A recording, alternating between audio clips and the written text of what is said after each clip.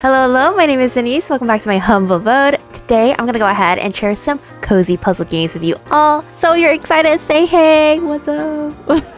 That's so cringe. So you enjoyed games like Unpacking with very relaxing gameplay and scrumptious like storytelling, then these next games are for you. Let's get started. Assemble with Care is an adventure puzzle game where you play as Maria, a globe-trotting antique restorer who arrives in the sunny town of Bellariva. She's there to help save the beloved possessions of the townspeople, but when their personal lives start to fracture, she'll have to figure out a way to hold them together, one spare screw at a time. In this game, you can figure out the inner workings of the objects brought to Maria and find a way to fix them. Meet the townsfolk of Bellariva while learning about their quirks and helping them reconnect as well as enjoy the handcrafted visuals. Currently, it's available on the PC, Mac, and iOS platforms. Fun fact, Assemble with Care was created by the same studio that created Monument Valley, which is an amazing puzzle game for mobile platforms as well. And another fun fact is that Assemble with Care was nominated for the BAFTA Games Award for EE Mobile Game of the Year, which is rightfully deserved as the game is incredibly satisfying once you go ahead and fix the broken item. It's a bit of a shorter story with two to three hours of gameplay, but I think it's really worth it if you enjoy like short and sweet games. If you're interested in maps, cartography, and exploration,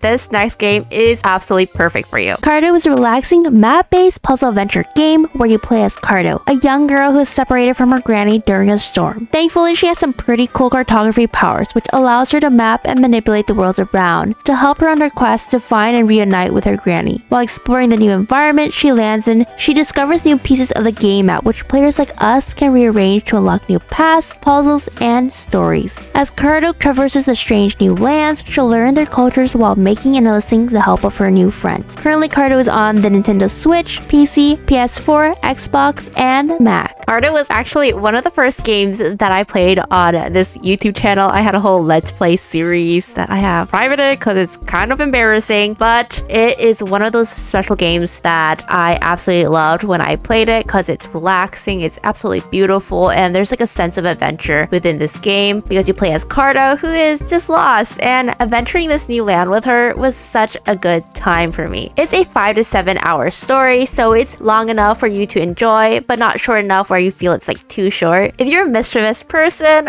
who likes to have a little bit of chaotic fun once in a while, I think this next game might be absolutely the best thing for you. Donut County is a story-based physics puzzle game where you play as BK, who recently found out how to control a hole with a remote. Unfortunately, BK really likes prizes and will even swallow up his friends and their homes in order to get them. He eventually has to deal with the consequences of his actions once he falls into the hole himself and is confronted by his best friend Mira 999 feet underground. In this game, you can explore every character's home, move the hole to swallow up their stuff, which allows the hole to grow bigger each time, combine objects inside for crazy effects, catapult things back out of the hole, and devour everything. Currently, Donut County is available on Nintendo Switch, PS4, Xbox, PC, Mac, and mobile platforms. Donut County has two hours of gameplay and is incredibly chaotic. So it is absolutely a fun time when all the things that are in the world just fall into the hole and your hole just gets bigger and bigger and bigger. I think that was like the most fun for me. And also seeing like the commentary of like all of BK's friends going like, BK, what are you doing? But I really enjoy this game and it has very satisfying gameplay. So definitely try it out if you like chaotic games. The next game I'm about to show you is also very chaotic, fun, and casual. It's one of the games that I played as a child, so it has a special place in my heart and hopefully you enjoy it as well. Katamari Damacy is a puzzle action roll 'em up game where you play as the pint-sized, 5 centimeter tall princely son of the king of all cosmos. After the king accidentally destroys all the stars in the sky,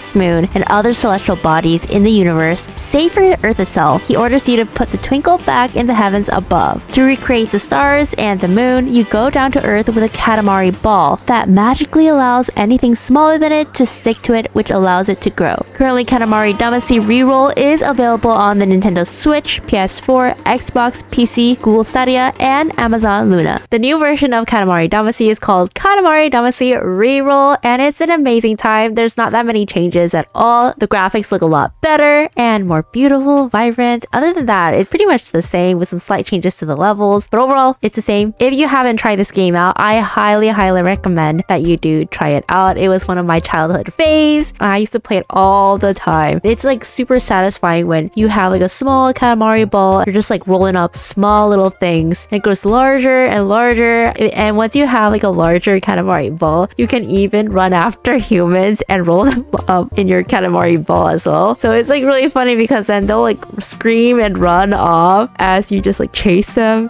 It's my favorite little hobby, just like chase them down. They're like screaming and like, ah! no, I wanna, I wanna live. It's okay. You, once you roll them up, they're not dead. They're just like forever stuck on a star in the sky. So, uh, yeah, I mean, that's, that's all right, right?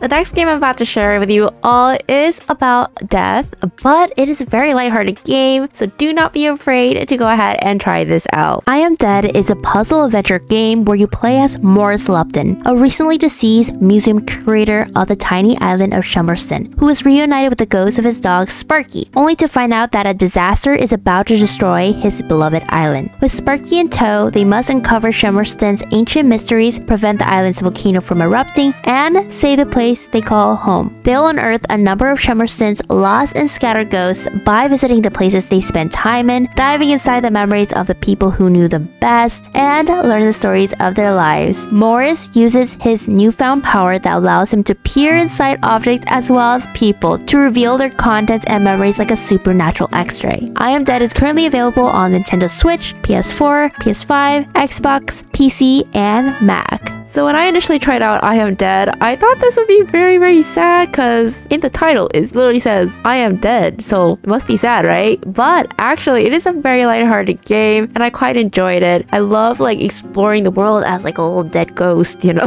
and using my x-ray powers to find different objects that are hidden inside different places and nooks and crannies. It is a very satisfying game and once you find all the stories hidden behind all the characters, you feel like a very strong sense of accomplishment and fulfillment. At least I did and hopefully you do as well. If you reach this point of the video, make sure to go ahead and type in the comments, I am chaotic, and let me know what your favorite game is out of all these games that I've recommended or just any cozy puzzle games that you've been really excited about recently so I can try them out myself. I make a lot of cozy indie recommendation videos and gaming content in general. So if you'd like to go ahead and listen to me talk more about these types of things, please subscribe, like, and comment. Thanks for watching. I'll see you in the next one.